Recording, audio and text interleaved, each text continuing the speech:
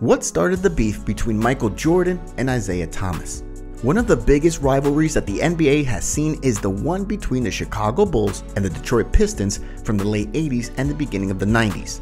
The Bulls were led by young and emerging Michael Jordan, while the Pistons leader was the Chicago born Isiah Thomas.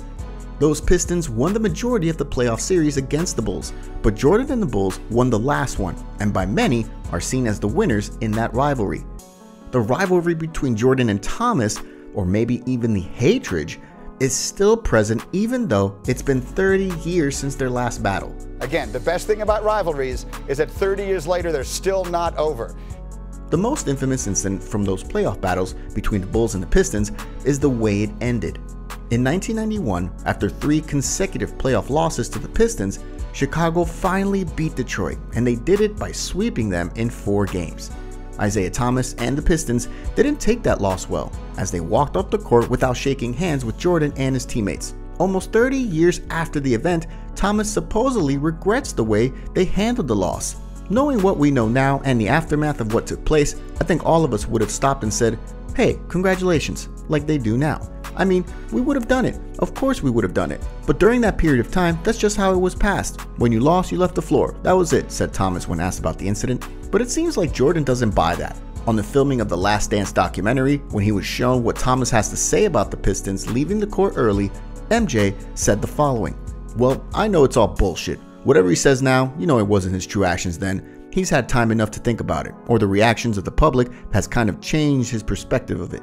You can show me whatever you want. There's no way you can convince me he wasn't an asshole. Well, we all know this part of the controversy because it was all filmed and we saw it. The real question is what started their beef? What was the reason? When did it happen? Who did what? Who said what? So before we go on to see what really happened between Michael Jordan and Isiah Thomas, make sure you like the video and comment down below about your favorite part of the video and subscribe to Top 10 Everythings with notification bell on.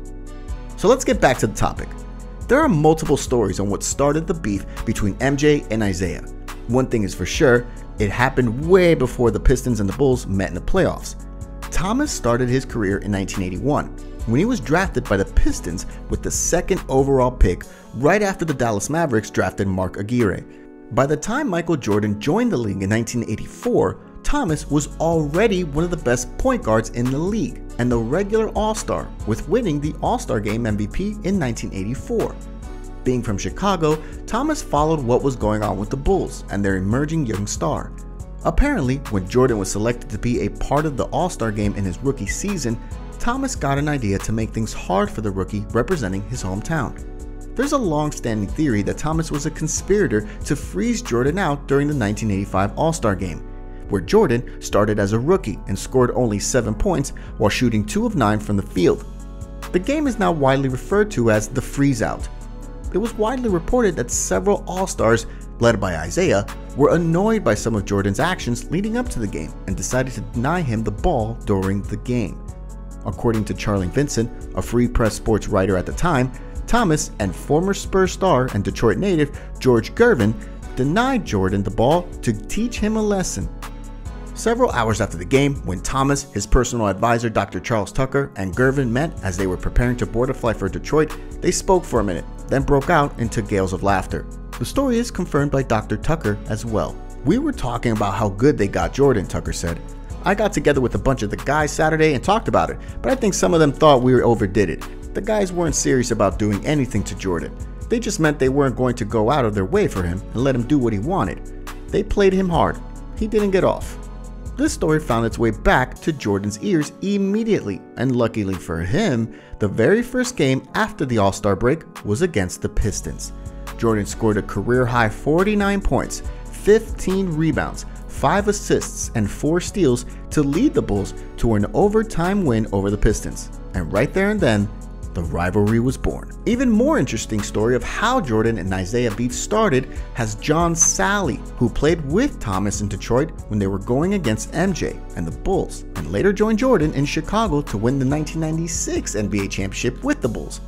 Per Salley, Thomas's whole issue with Jordan started when Thomas's nephew wore a Michael Jordan jersey when he went back to his visit his family in his hometown of Chicago.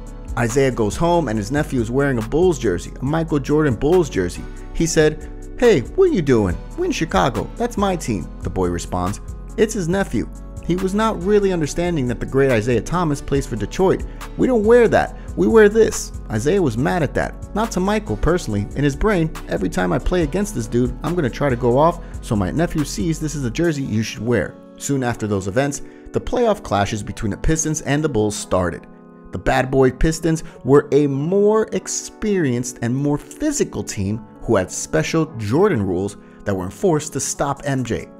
Bill Laimbeer, Rick Mahorn, Dennis Rodman, and others were hitting Jordan off the floor anytime they had a chance to do so. The Bulls simply couldn't find a say to go over the Pistons in their first three playoff battles.